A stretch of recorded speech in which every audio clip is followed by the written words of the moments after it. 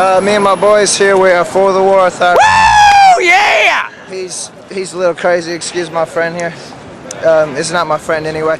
Um, Yeah. be, basically, because Saddam Hussein is is evil, and you, you just can't appease evil people like that.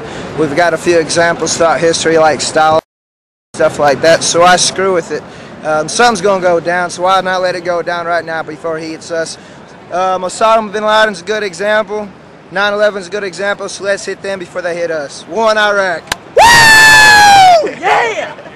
So after you all graduate to seventh grade, you're all gonna go sign up and join the military, right? Not sure. Yeah, you're all gonna sign up and support what you're actually saying, right? I'm 19. I've had the cho- I, I've, I've made the choice not to, so no, I'm not gonna. So you're gonna stand here and you're gonna decide what other people should do, where other people should be going, what other no, people I'm not going to decide. You're I'm going to gonna decide let- what you're I would like let- for them to do. Oh, well, but thank I you. wouldn't make the decision Thank for you very much. I'll be thanking you when I'm sitting over there in the Persian Gulf, motherfucker. Oh. At least I So got. why you gotta get violent like No. that, man? Why you gotta At get least- No, at least Are if you I'm for standing peace? up. At least I'm Are you for standing up for the war. Do you- Are you for peace? Are Of you course for I'm war? For peace. Of course I'm for peace, for Christ's Then why are you Who being the violent fuck? like that? Hey, dude, I'm come not, on, I'm not man. peace? praying. You're a You're freaking feeling so hypocrite. strongly. Why don't crazy. stand up for what you believe in? Man, don't talk to that. That's You gotta be ludicrous, kidding dog. You gotta be kidding How in me. the heck is that peace? This This is peace. Come on, that's peace right there.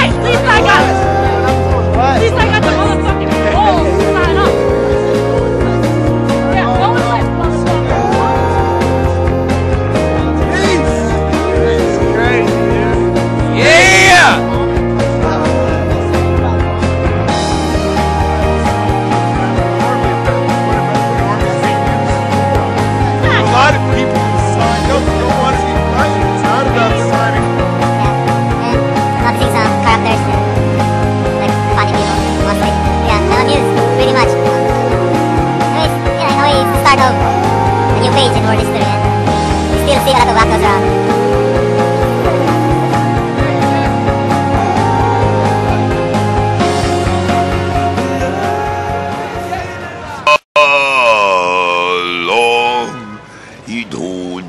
plant tennis. He don't pick no cotton. That old man river soon shall be forgotten.